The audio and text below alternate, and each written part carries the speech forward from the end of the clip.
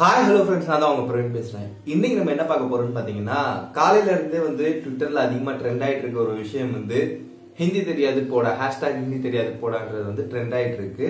நம்மளோட யுவன் சங்கர் ராஜா அண்ட் வந்து சுரேஷ்ன்ற ஒரு ஆக்டர் வந்து ஒரு ரெண்டு விதமான டிஷர்ட் போட்டிருந்தாங்க. ஸோ ஒன்றுல வந்து ஹிந்தி தெரியாதுடா போடா ஹிந்தி தெரியாது போடான்ற ஒரு விஷயமும் இன்னொருத்துல தமிழ் பேசும் இந்தியன்ற ஒரு விதமான ஒரு டேகும் இருக்கிற மாதிரி ஒரு டிஷர்ட் போட்டிருந்தாங்க.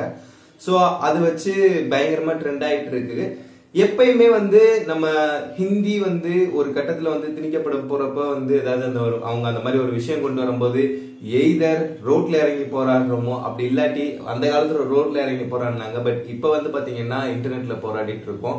ஸோ ஆக மொத்தத்துல நம்ம வந்து எல்லா டைமும் ஹிந்திக்கு எதிராக தான் இருக்கோம். பட் இங்க என்ன ஒரு விஷயம்னா இதை வச்சு அரசியல் அரசியல் பண்றது வேற. சோ அந்த அரசியல் பண்றது பத்தின நமக்கு கருத்து வேண்டாம்.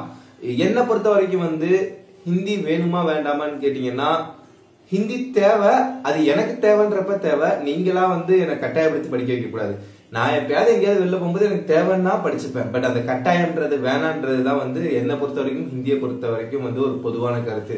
சரி இப்ப இதுல என்னடா பார்க்க போறோம்னு பாத்தீங்கன்னா வந்து இங்க எதுக்கு இந்த இது வந்து ட்ரெண்ட் ஆயிட்டு இருக்கு திடீர்னு சம்மந்தமே இல்லாம. ஏன்னா நம்ம ஹிந்தி இம்போசிஷன் வந்து கொஞ்ச நாள் முன்னாடி பண்ண ஆரம்பிச்சாங்க. பட் இப்போ எதுக்கு இது சம்மந்தம் இல்லாம ட்ரெண்ட் ஆயிட்டு இருக்குன்னு கேட்டீங்கன்னா வந்து ரீசெண்டா வந்து நம்ம வெற்றிமாறன் சாருக்கு வந்து பர்த்டே வந்தது. ஸோ அந்த டைம்ல என்னன்னு பாத்தீங்கன்னா அவரோட ஒரு ஓல்டு வீடியோ ஒரு டூ தௌசண்ட் லெவன் டைம்ல இருந்த ஒரு வீடியோ வந்து அந்த ஆடுகளம் ஷூட்டிங் அதாவது ஆடுகளம் படத்துக்கு வந்து எங்கேயோ அப்ராட் போயிட்டு ஒரு அவார்ட் ஃபங்க்ஷனுக்காக போயிட்டு ரிட்டர்ன் வரும்போது ஏர்போர்ட்ல வந்து ஹிந்தி தெரியாதா?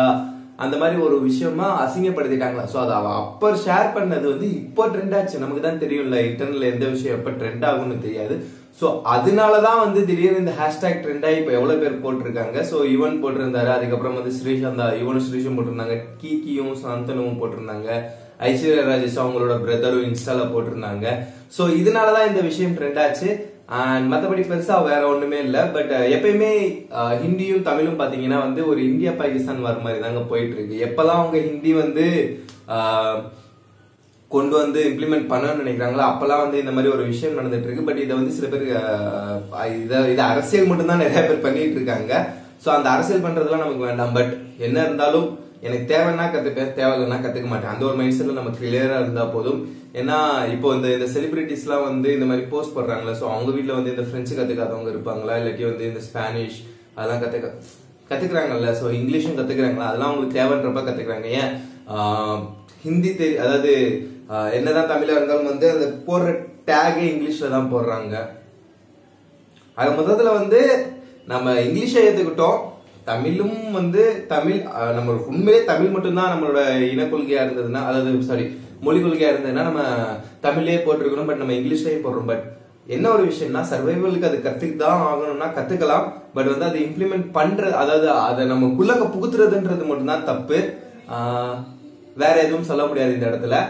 அண்ட் வேற என்ன இருக்கு? அவ்வளவுதாங்க. இந்த வீடியோ உங்களுக்கு பிடிச்சிருந்தா லைக் பண்ணுங்க ஷேர் பண்ணுங்க. மறக்காம சப்ஸ்கிரைப் பண்ணுங்க. அல்லது நன்றி உங்களிடம் அன்புடன் விடைபெறுவது உங்கள் பிரவீன் பாய்